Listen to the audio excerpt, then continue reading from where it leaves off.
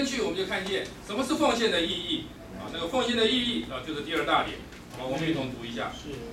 单单受了爱的激励，还不是奉献；单单认识合法的权利，也还不是奉献。奉献是我们被主的爱激励了，看见主的权利了，就接下去做一件事。接下去有一个手续，那一个手续把我们摆在一个会上。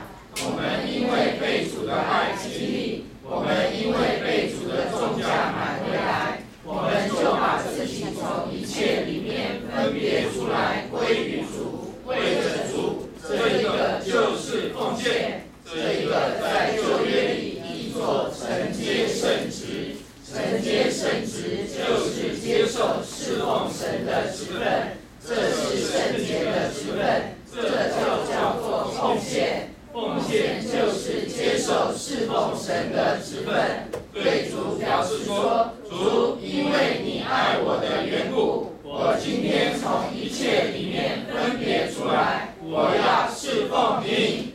所以你看，我们看见这个奉献的根据，然后我们就能够从这个奉献的意义，然后看出来什么是奉献的意义。所以，我们看见一面有主的爱，另外一面有主的权利。是。所以我们借着主的爱，借着主的权利，我们看见我们这个人不再属我。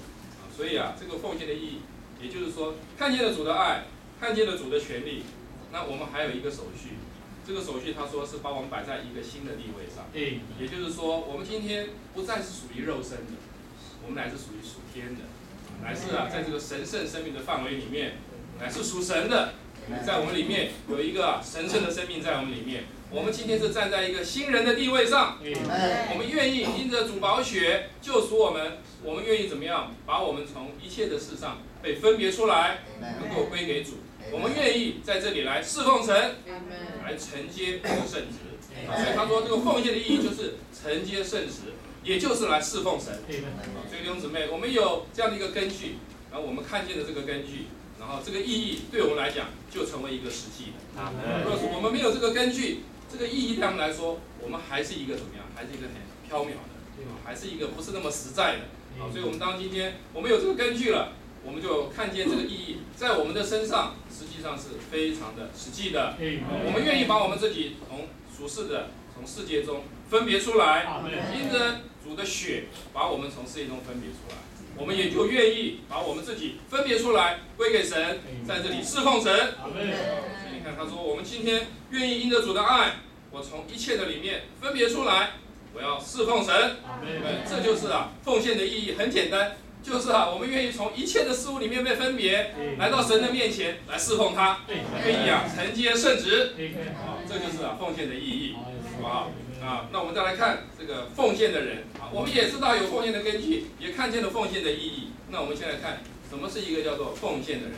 所以我们从旧约里面我们来看啊，还有从新约我们来看什么叫做奉献的人，什么人是奉献的人。所以我们看见在旧约里面，在这个出埃及记。啊我们刚读的经节二十八章的一到二节来看啊，在旧约里，这些以色列人呐，犹太人是谁才能够在这里承接圣职呢？只有亚伦啊，还有亚伦他的家人啊，所以不是啊，所有的这个十二支派都能够来这边呢承接圣职的啊，也不是啊，立位人都可以承接圣职的啊，所以啊，亚伦是啊立位支派的啊，属于立位支派的，也只有啊亚伦是被神所拣选。还有亚伦的家人，才能够成为怎么样？成为祭司，能够来到啊圣殿里面来在这里服侍神，在这里承接圣旨。啊，所以啊，第一点，我们说奉献是一件相当特别，事不是全以色列人都能够承接圣旨的？也不是整个立位支派都能够承接圣旨，乃是只有亚伦一家才能承接圣旨。你必须啊是属于这个家的啊，他才能够奉献。所以你看见在就业的时代里面。这个奉献啊是何等神圣的，是不是每一个人都能够进到这个圣所里面，在那里服侍神？所以我们继续看第二点，来，我们一同读。感谢神，今天我们是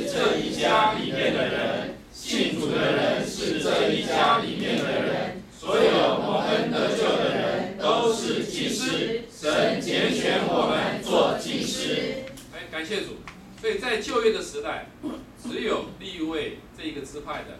亚伦这个家的人，啊，能够怎么样奉献，能够怎么样侍奉神，能够承接圣旨。但是来到了新约，感谢主，弟兄姊妹，我们是不是都是祭司啊？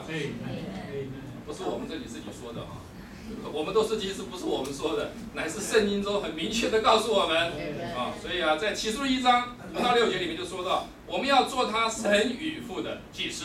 嗯，还有在这个。我们彼得前书啊，二章五节也说到，我们都要成为圣别的祭司体系，啊，借着耶稣基督献上神所悦纳的属灵祭物。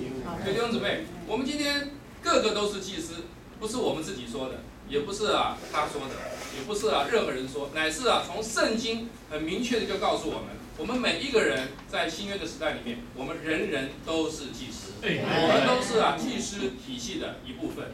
所以既然是祭司，那当然我们就能够在这里怎么样侍奉神，我们就能够在这里承接圣经。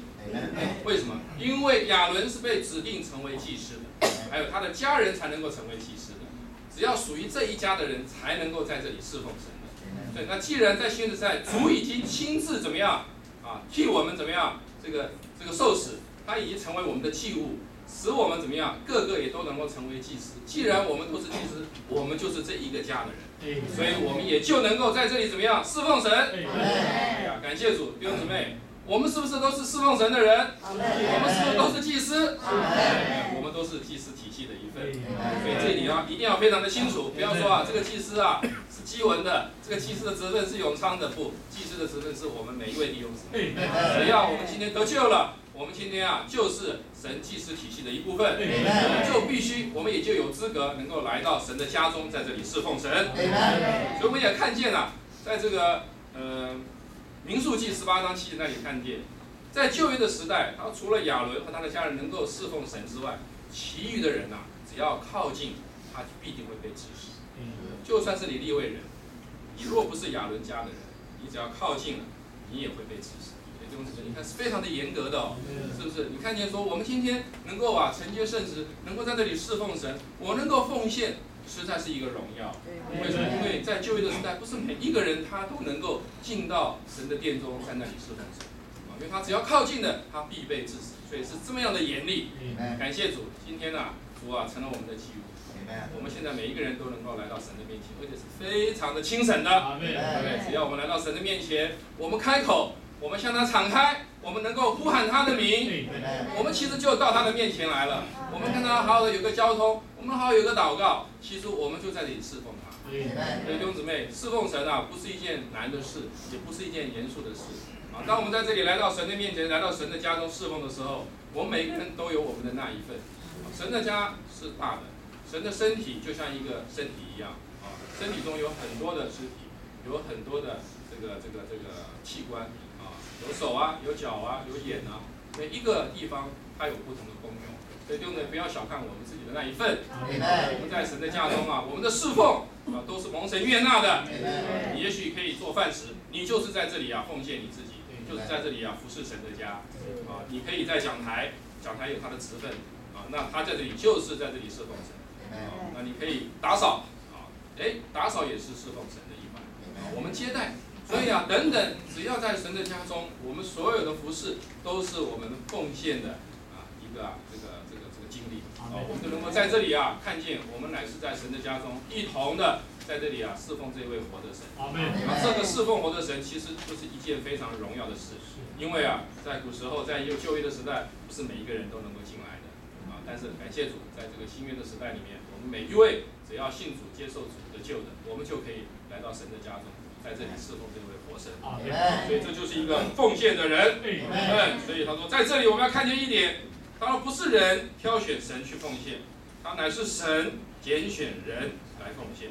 凡是以为把自己什么都丢下来侍奉神，好像优待神的人，他是在门外的人，他根本不是奉献的人。要知道，不是你看得起神，你尊重神，所以侍奉神；不是你把你自己摆出来做主的工，他乃是神恩待你，在他的工作里。也给你有份，还是神把荣耀给你，来华美给你。